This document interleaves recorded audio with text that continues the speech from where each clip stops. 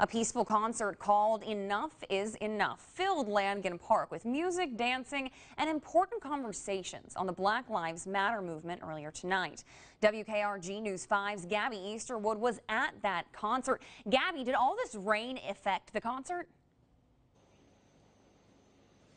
Well, thankfully, Dana, they were able to wrap up the concert before any of the rain or the lightning was over at Langan Park. But there, that was not before dozens of people came out to see that entertainment and also to be part of the conversation. Today, we have to take a stand to bring justice and peace into the land and to the homes of the many families affected by this devastation. A family oriented concert with dancing, singing, even poetry readings, all centered at calming racial tensions in our community. We see what's going on. We're not blind to it anymore. It won't be covered up, it won't be hid in the shadows. We're going to bring it to the forefront. We're going to demand a change. We're going to do it peacefully. Racism is a learned behavior.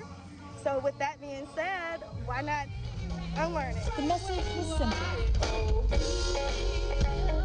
One of the groups performing, the Culture Dance Crew, shed light on the importance of including youth in our conversations on heritage and racial equality. Our kids really need to know their, their culture. They need to know their their um their, their heritage and all of that stuff. So we're excited to bring them to see different things and different cultures because we don't just want to know our culture. We want to know everybody else's culture as well. Organizers hope events like this help lessen the racial divide. The main message is it's not black versus white. It's not. At the end of the day, it's love versus hate.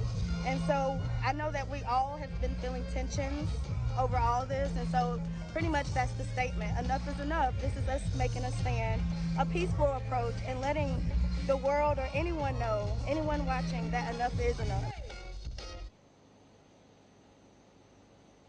The organizers also told us while we were at the event that they hope to have more entertainment and concerts of this nature that bring our community together. Reporting live in Mobile, I'm Gabby Easterwood, WKRG News 5.